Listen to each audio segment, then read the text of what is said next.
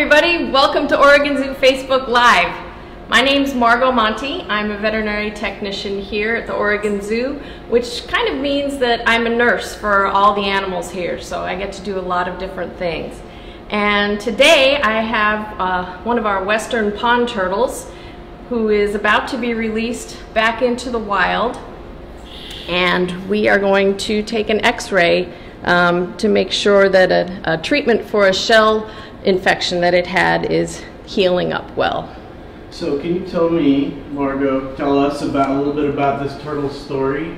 Sure. Um, this turtle uh, was hatched out in the wild in the state of Washington, probably up in the Columbia Gorge in 2005.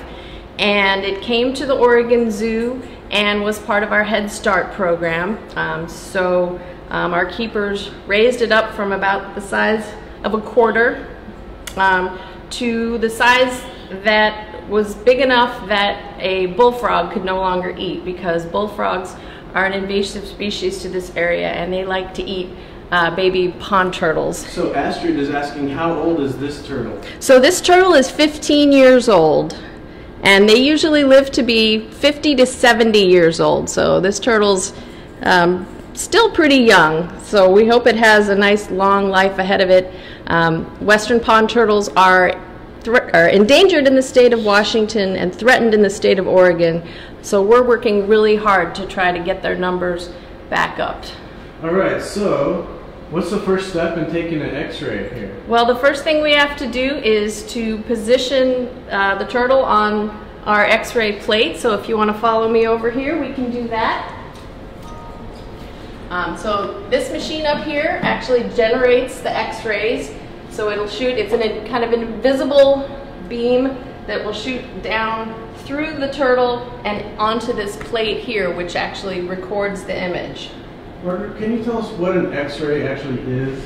Boy, that's a good question, yeah. An x-ray, it's, it's a type of radiation. Um, it can be, you know, other types of radiation are radio waves, are um, satellite rays, so the, you, you are seeing me in this transmission through um, a certain type of radiation radio waves.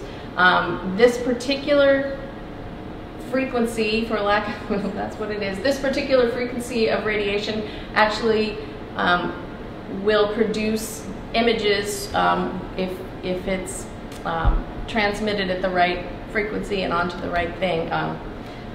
So we're gonna, we're gonna, that's, it's kind of complicated, but I will be happy to look it up and give you guys, not look it up, but I can give you some more information another time.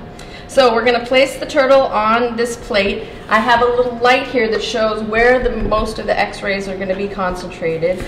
Um, he's gonna try to run away, so I'm gonna just put him, I'm gonna hide him in a safe spot. The x-rays will shoot right through this foam, but the turtle feels like it's safe and hidden and covered.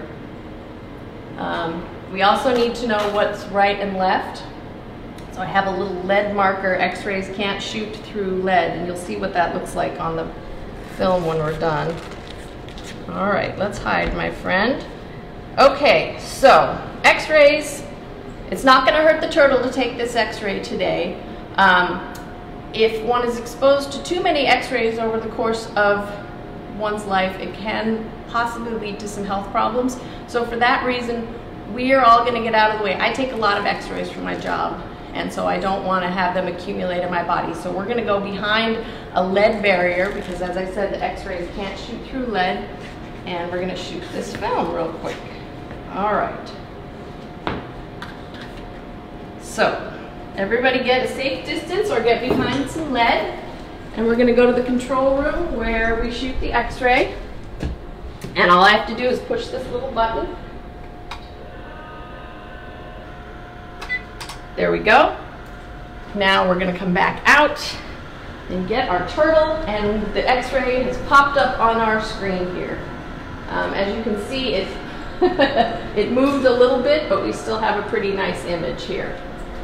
Um, so it used to be x-rays were taken on film, like a giant piece of film, and I can show you that.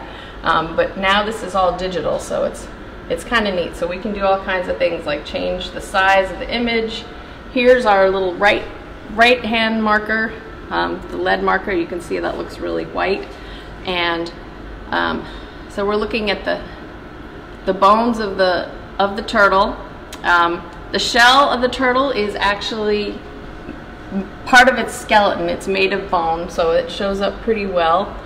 And there's its skull, and there's its little feet. So, Margot, is the shell actually part of a turtle's skeleton? It really is. Yes, it's like I said, it's made of bone, and I can show you. Um, I have another another way of looking at these guys, which is really interesting. Um, and I can show you what that looks like. So can you can you show us really quick though? Point out some of the some of the parts of this turtle skeleton. Sure. So here's a skull. Oops. Here's a skull, and there's his feet. That's his tail right here. Oh, this is a very sensitive screen. Um, there's his backbone, and then all these little dots that you're seeing are part of the, the shell infection that are, it's healing in, um, but the bone hasn't filled in 100% yet, so it looks um, a little bit uh, pockmarked. But as you can tell, if you look at the actual turtle shell, you can see it doesn't, it's not really full of holes, it's just a little bit dimpled um, where it's, it's healing in with, with healthier tissue. So Avery is asking, how big will this turtle get? Um, this turtle will probably get to be about that much bigger. So they grow, you know, a little bit every year, and you can actually sometimes tell how old they are by looking at um, the way that the, these are called scutes, the way these scutes grow. Um, so the bottom, the top of a turtle is called the carapace, and the bottom is called the plastron. There's some fun words for you. And we can tell that this turtle is a male because the plastron has a little bit of a concave surface to it, and if it was a female, this would be all flat. Um, turtles, hmm? Well, Livy's asking how many eggs this turtle will lay. Oh, Livy, that is a really good question. They can lay, they usually lay about six to ten eggs at a time, um, but I have, I have some show and tell for you in a few minutes that you can actually see that. All right, so you have another way of looking at the inside of this turtle, right? We do. Uh, we just we were very uh, fortunate to um, to receive a grant through our through the Oregon Zoo Foundation, and I would really like to take a moment to shout out. Um, big thank you to the Zoo Foundation donors who paired up with the um, MJ Murdock Charitable Trust and actually helped us to purchase this machine. This is a CT scanner. Um, CT stands for computerized tomography, and tomography is just a fancy word of, uh, fancy way of saying um, looking, looking at things in slices. So what this does, I'm not going to do a real CT today because it takes too much time. Um, but what we would do is we would put the turtle on here. Oopsie, turtle says, nope, no CT today.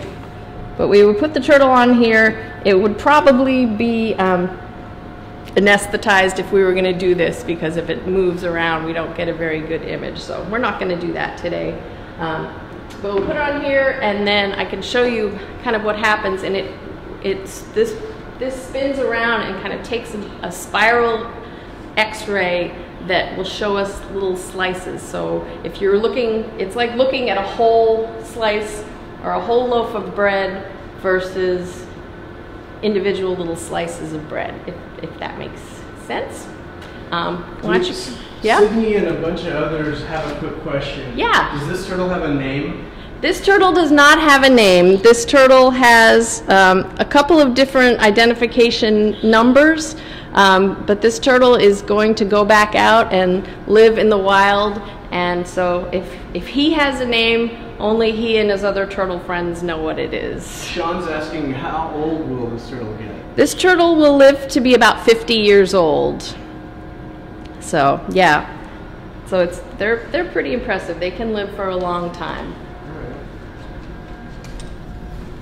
So, it, so let's pretend we're going to do a CT scan of this turtle. So we would we would we would put it on that on that little foam pad that you saw, and um, if I were actually taking um, an image, um, it would look something like this.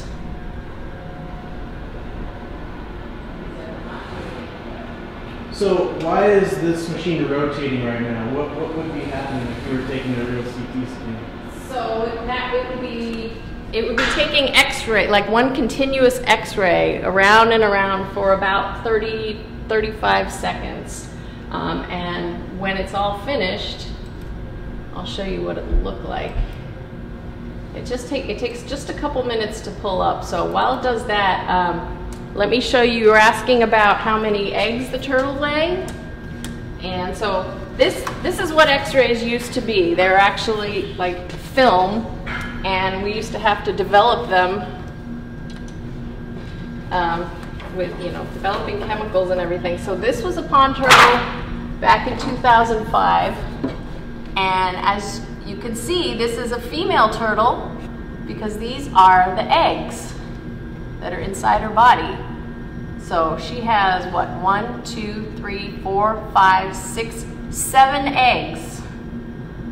It's pretty cool. So tell us the difference between this x-ray here, this, this image, and what you were doing in there.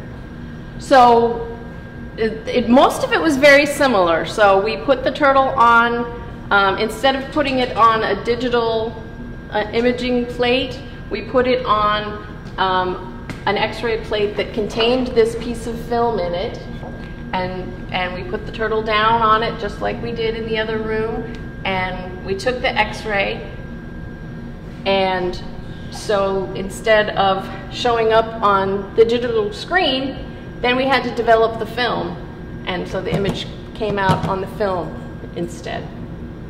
So if we wanted to make this a digital image, we could just take a picture of it. Because we can do that these days. We had a question. Do we know if this turtle is a boy or a girl? This turtle is a boy. This turtle is a boy. And, I, and we know that because his, his plastron, his bottom shell, has, is shaped kind of concave shaped as opposed to flat. Misha's asking, what do you call a baby turtle? Um, a, a baby turtle. a hatchling. If it just came out of the egg, it's called a hatchling, just like a, like a baby bird, which right. then goes on to become a chick. So now we've got our CT, and we can do these amazing three-dimensional reconstructions. Um, back when people first started doing CTs though, it would look like this. And so I can scroll through and these are the slices. So what we're looking at this is the shell, the bony part on the outside, right? So here's the top of the, the turtle. And so these are the, the, the bones of the spine, oops, which then spread out to the shell. So the black part in here is actually the turtle's lungs. And then these are more bones. So these are the, the neck bones and the beginnings of the leg bones. And then back here is the, the tail and the, the bottom legs. Um, so this is the old version, right? This of, is the old version. The yep. Scan? Yep. So let's let's check out what a new one looks So like. the new version that we're able to, thanks to today's technology. So here's what the turtle looks like with all of its skin on, basically. But what I can do is I can um, change it I can just uh, scroll through so that we can see um, what the skeleton looks like underneath. This is really cool, watch this. Uh -huh. Here it goes. Here it goes. So suddenly we get to look inside the turtle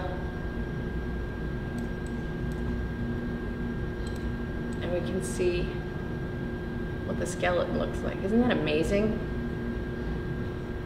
Let's see if I can do this. What's one of the things that really fascinates me about turtles? All, a lot of things fascinate me about turtles. But you see what just popped up in here? Turtles and a lot of other reptiles, lizards, and birds actually have little bones in their eyes to help to stabilize them and to keep their eyes uh, proper shape. Just, I think that's so cool.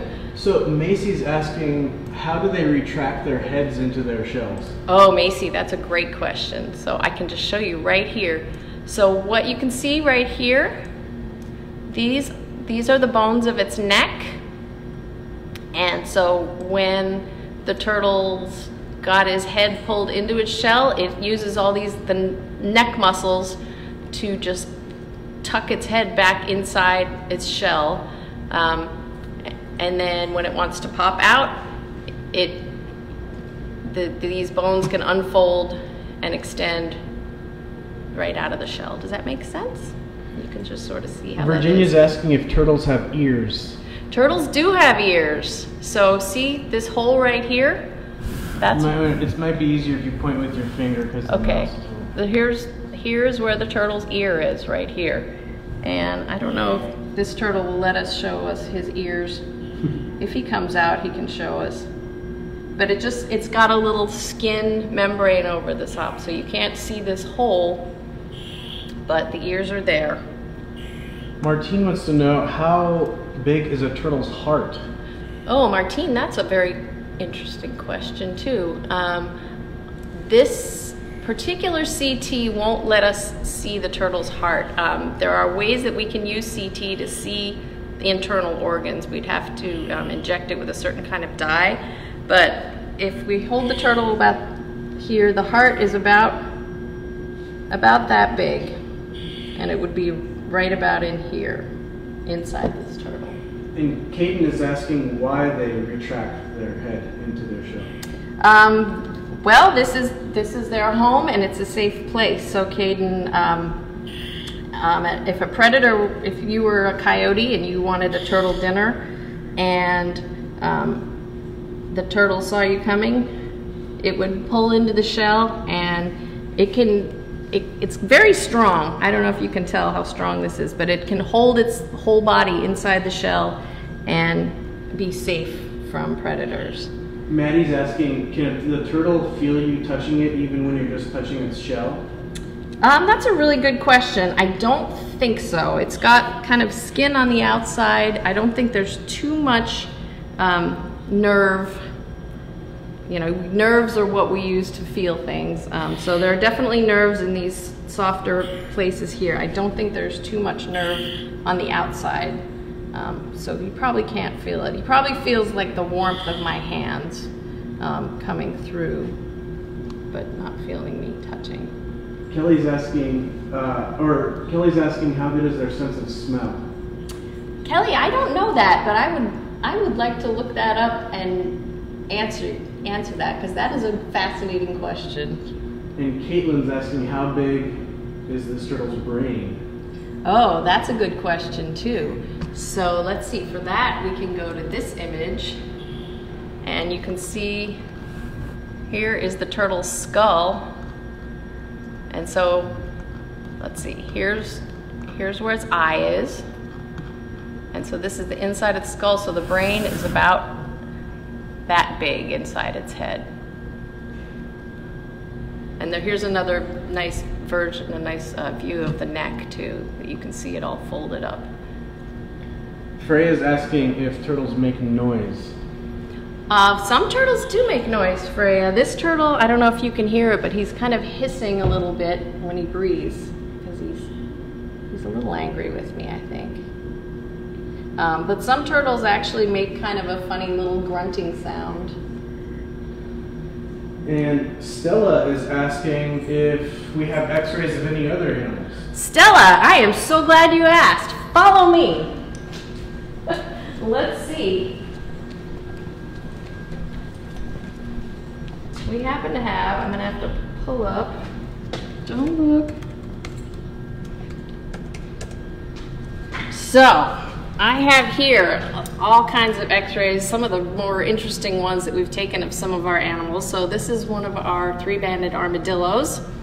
Um, armadillos, of course, have the really interesting armor on the outsides of their bodies, um, kind of like a turtle do, although instead of being bony, there's a little bit of kind of bone component, but most of it is composed of what's called keratin, which is the same thing that your hair and your fingernails are made of.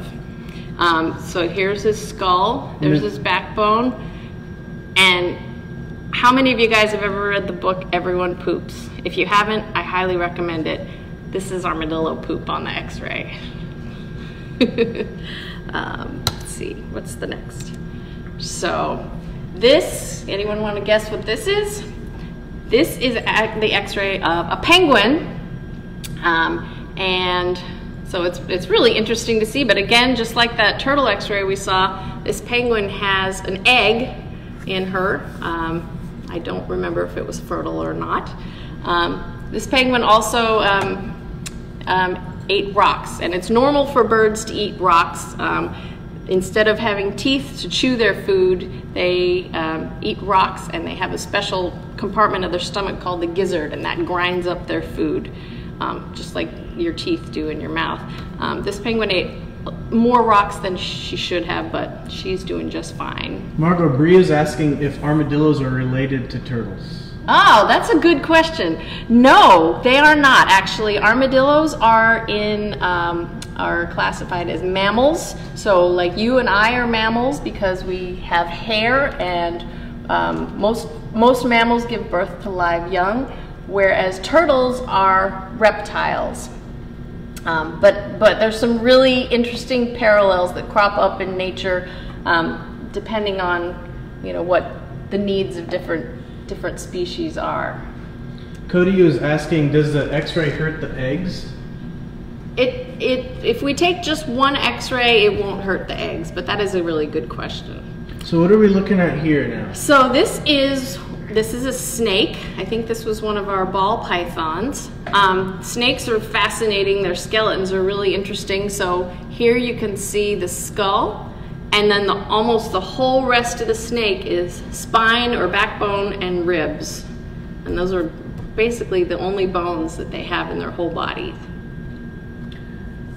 Kyria, and we're gonna be there's a little lag, so there's some there's gonna be some questions about the previous one. Yep. But Kyria is asking uh, how many eggs penguins have at a time. These Humboldt penguins. Penguins usually they only lay one egg at a time, but they can lay up to two eggs in um, a breeding season. But their their eggs are pretty big inside their body, so there's not a lot of room for more than one. So what's this? This is a mongoose, and um, so this is its stomach. So it ate something that had maybe some grit or something in it. So that's what we're seeing here. There's this little skull.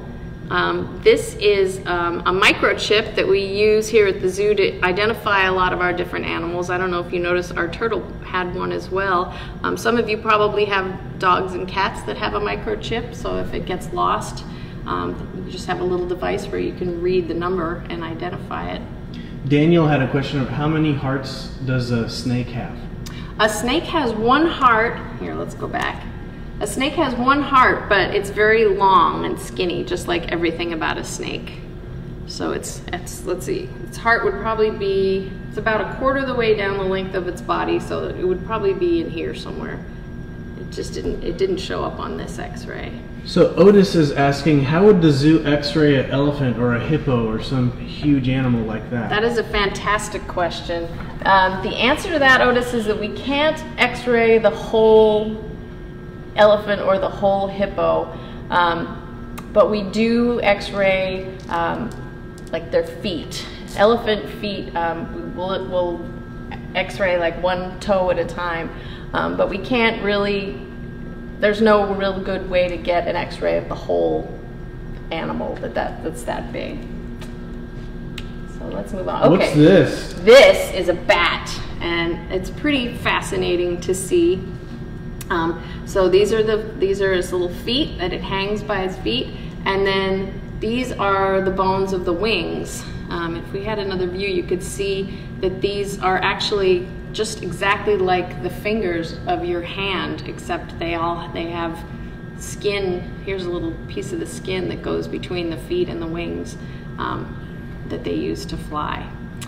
And these you can see the intestines in this bat really well too kind of fascinating. Jack is asking, do we have a skin of a fish? And yes, Jack, we have one coming up. Oh yeah, Jack, you're okay. But first, this is a beaver tail that I just think is really cool. So these are these are bones of the spine, just like the backbones that go down into the tail, and then you can see the the skin um, kind of the fatty skin around the outside of the beaver tail.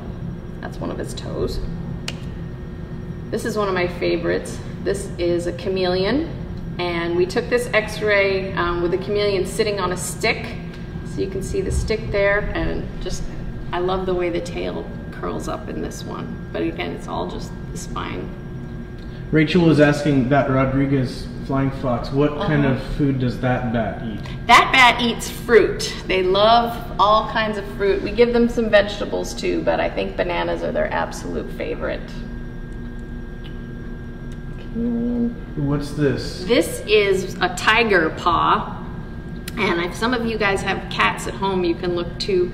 Um, tigers and most cats, except for cheetahs, have what are called uh, retractable claws. So kind of, kind of like the turtle's neck that folded up inside the turtle's body. The the tiger's toes kind of are all folded up with the claws between little folds of skin, and then if the tiger wants to stretch its it uh, bring its claws out, it, it flexes muscles in the toes and it it straightens the fingers out and makes the claws come out. Pretty fascinating. Uh, this is a toucan skull, and as you can see, the toucan's beak does not look as dense as the bone, say, of its skull. Um, and that's because this beak is again made of keratin, the same stuff as your fingernails or your hair. Um, so it's very, very lightweight. Um, and it actually, um, among other things, helps the toucan regulate its body temperature. We have a couple questions. This last one from Tova about why do chameleons change color? Oh man, that is a that's a good question too. I think they chameleons are um, they change color to try to blend in with their surroundings, so predators can't find them. Um, they want to stay invisible, and they can probably also use it to sneak up on um, on the the food that they eat, so they don't see them coming. So, all right, let's go through. This is a fat-tailed gecko. So that's the, the bones at the tail, and these are the little fatty skin pads around it. Which I just think is really cool. And again, kind of, if you, if you notice, there are parallels. Like the wing of the bat would be similar to the little bones of the hand in the gecko here. This is an Inca tern, a bird. So the bones of the hand of this bird, he only has a, a couple of fingers just you know like you and I have fingers so this is this is its arm and this is its hand but but in a bird all of that comes together to be the wing. It's good. And then this is an owl. This is a little owl. Um, another another bird obviously. They look pretty funny don't they? They don't look the same. This owl would be just covered with feathers and it would look a lot bigger. Um, funny thing about owls here is the owl's eyes and this is its brain. Its eyes are actually bigger than its brain. Who knew?